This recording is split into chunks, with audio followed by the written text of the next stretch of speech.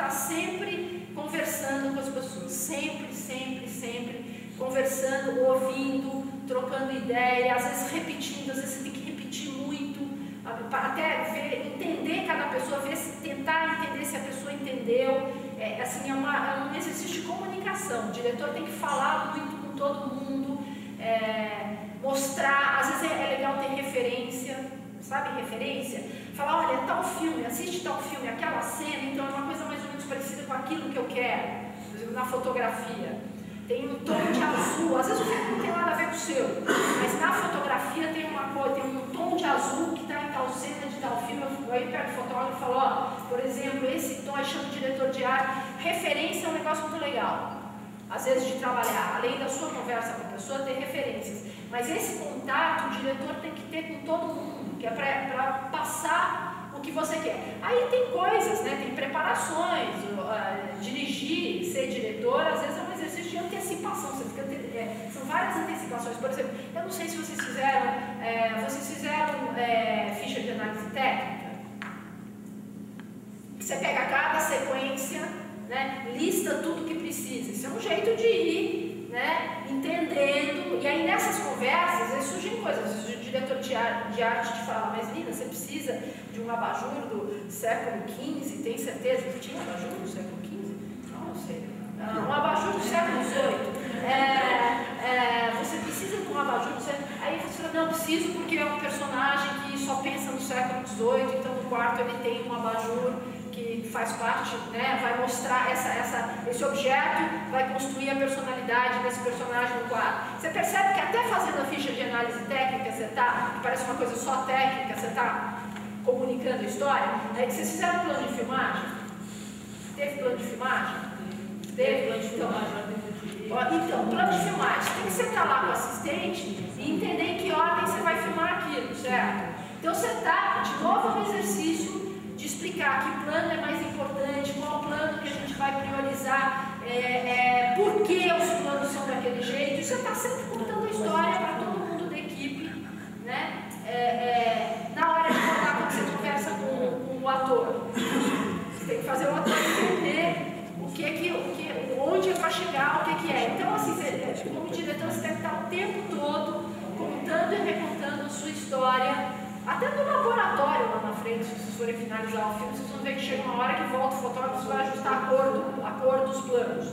Também você está contando a história, você tem que falar, não, não, está muito escuro, não, está muito claro, olha, esse é um filme, esse é um filme mais claro, não pode ser tão pesado, enfim, você está de novo explicando o que, que você quer. Então, para ser diretor, você tem que explicar a mesma coisa muitas vezes. É, e já aconteceu você está fazendo um filme ali, está escrevendo um roteiro, teu roteiro é aquilo, só que na hora que você grava, tipo, na edição, você percebe que não é bem aquilo que você escreveu e muda totalmente a história. Isso já aconteceu alguma vez, mudar muita coisa? É, acontece, acontece. Acho que assim, o ideal é que isso não aconteça. Você tenta sempre seguir, se você acredita naquele roteiro, você está tentando passar por todas as etapas mantendo aquele roteiro, não assim ipsis literis, não é uma engenharia, não é exato, mas aquela ideia, aquela história, etc. Às vezes há processos tão conturbados que pode-se não chegar ao que de fato conta aquela história. E às vezes o problema já começa no próprio roteiro.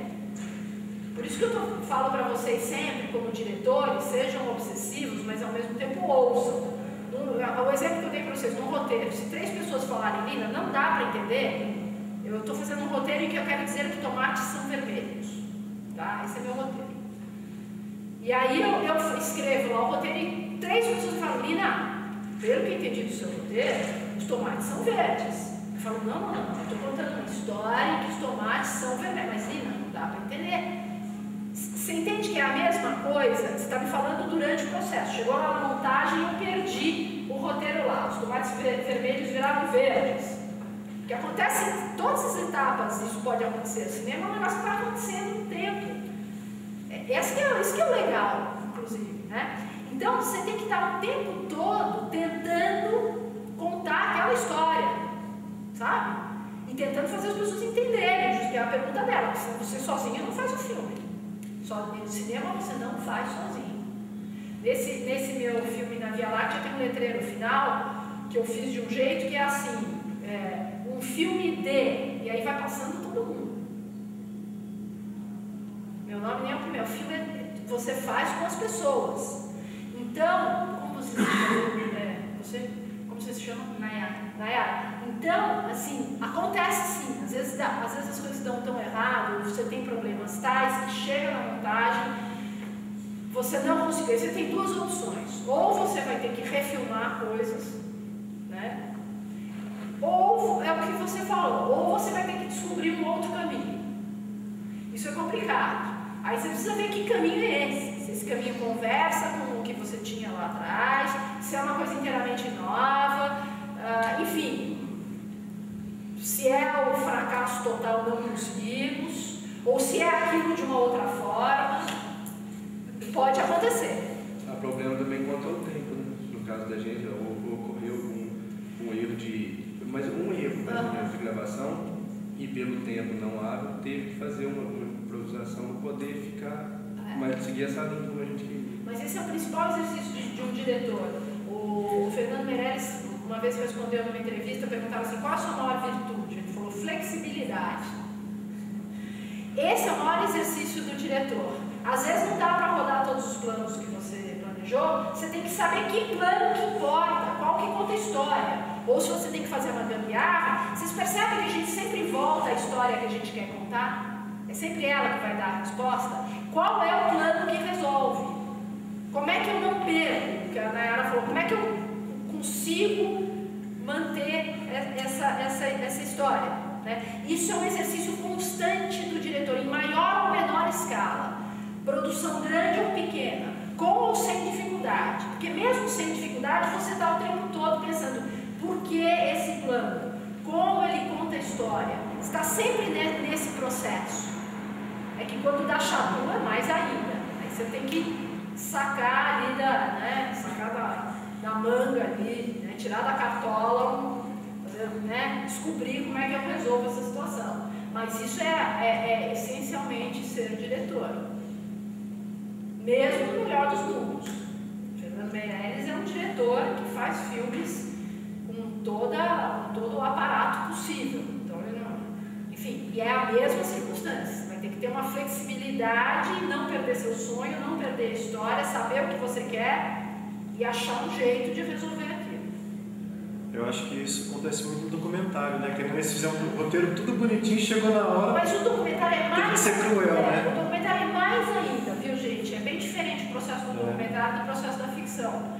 Porque no documentário ninguém garante Entendeu? O ator tem o roteiro, certo? Ele vai, ele vai dar a fala que está escrita lá. Num documentário, ninguém garante, o processo do documentário é muito diferente da ficção. Ninguém garante que a tese que você fez lá, que quer dizer isso, isso, isso, isso, que o tomate é vermelho, você pode ter 70 horas, você assistiu o quê? Duas horas? Você pode ter duas horas de gente dizendo que o tomate é verde. Aí o que, que eu faço? O documentário tem muito essa, é um outro jeito né? ele é mais aberto. Por isso que muitas vezes o documentário não tem um roteiro fechado de cara, ele tem uma proposta, e aí você vai, na verdade, fechando esse roteiro, entre aspas, a posteriori, você vai entendendo, é bem diferente o processo. A ficção é que a gente planeja muito tudo antes e tal. E ainda planejando, a gente está o tempo todo nessa conversa. Tem contando história, é isso. pessoa vai falar